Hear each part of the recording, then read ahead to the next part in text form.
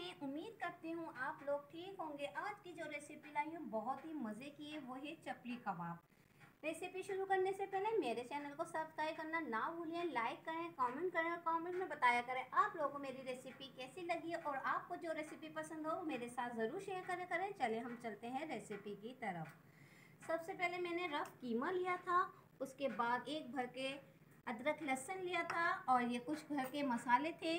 धनिया था, कूटा हुआ, ज़ीरा भुना हुआ था और चपली कबाब के दो टेबल स्पून भर के मसाला लिया था। इसके बाद मैंने सॉफ्ट करने के लिए एक चमचा दही का लिया था और नमक ऐड करेंगे और हरा धनिया और हरी मिर्ची डालेंगे।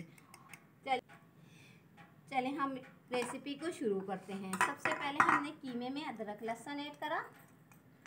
और इसके बाद हमने जो मसाला बनाया था, वो ऐड करा और इसमें नमक ऐड करा और ये हरा धनिया, हरी मिर्च ऐड करी। अब हम इसको मिक्स करते हैं।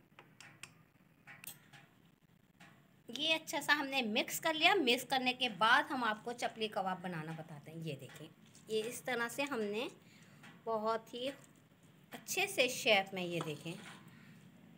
इस तरह से हमने बड़े बड़े साइज़ के चपली कबाब बनाएँगे और उसके बाद हम इसमें एक टमाटर ऐड करेंगे। इस तरह से हम बना बना के इसको इस प्लेट में रखते रहेंगे। देखिए, इस तरह से हमने अपने कबाब रेडी कर लिए। अब हम फ्राई करने चलते हैं। इस तरह से हमने अपने फ्राई में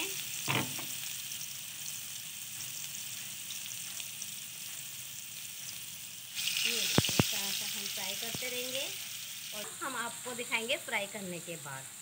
चपली कबाब फ्राई हो चुके हैं, बहुत ही मज़े के टेस्टी से चपली कबाब बने हैं। ये देखिए, हम इमली की चटनी के साथ खाएँगे और ये देखें टमाटर केचप के साथ। अगर आपको हमारी रेसिपी पसंद आए तो हमें ज़्यादा से ज़्यादा हमारे चैनल को सब्सक्राइब करिए लाइक करिए और कमेंट में बताया करें आपको हमारी रेसिपी कैसी लगी। आप भी अपनी रेसिपी हमसे ज़रूर शेयर करें करें। इंशाल्लाह हम फिर मिलते हैं नेक्स्ट वीडियो के साथ।